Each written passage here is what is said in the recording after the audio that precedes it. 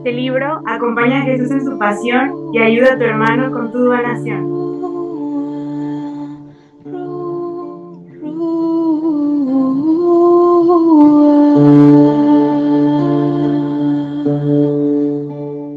Buenos días a todos. Queremos compartir con ustedes el Evangelio y el Santo del Día. Saludamos a Dios, que es Padre, Hijo y Espíritu Santo. Amén. El Señor esté con ustedes y con tu espíritu. Evangelio de nuestro Señor Jesucristo, según San Juan. Gloria a ti, Señor. A la hora de pasar este mundo al Padre, Jesús dijo a sus discípulos, todavía tengo muchas cosas que decirles, pero ustedes no las pueden comprender ahora. Cuando venga el Espíritu de la verdad, Él los introducirá en toda la verdad, porque no hablará por sí mismo, sino que dirá lo que ha oído y les anunciará lo que irá sucediendo. Él me glorificará por lo que recibirá de lo mío y se lo anunciará a ustedes. Todo lo que es del Padre es mío, por eso les digo, recibirá de lo mío y se lo anunciará a ustedes. Palabra del Señor. Gloria a ti, Señor Jesús. Vamos a encomendarnos a nuestra Madre diciendo juntos, Alégrate María, llena eres de gracia, el Señor es contigo.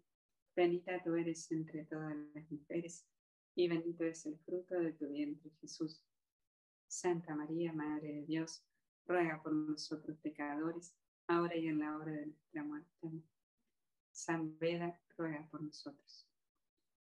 Hoy el Señor nos hablaba de que nos iba a dar el espíritu de la verdad, ¿sí? Y justamente hoy celebramos a San Beda que él se gustaba llamar historicus verax, es decir, historiador veraz. Vedas fue un apasionado de la verdad. Él fue un gran historiador, gracias al cual Inglaterra tiene su historia, estamos hablando del año 700. Y, fue monje, ¿no es cierto? Él resumía su vida diciendo tres cosas que le gustaban a él, aprender, enseñar y escribir. ¿sí?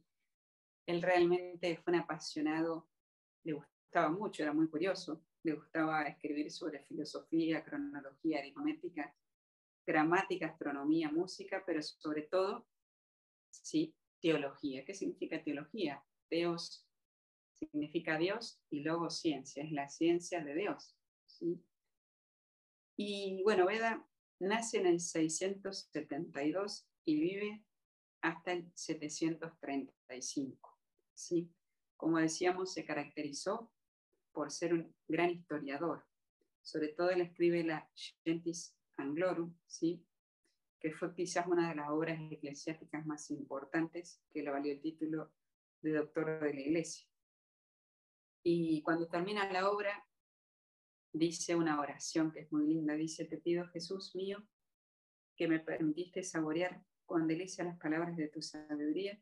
Concédeme algún día llegar triunfante a tu reino y contemplar tu rostro.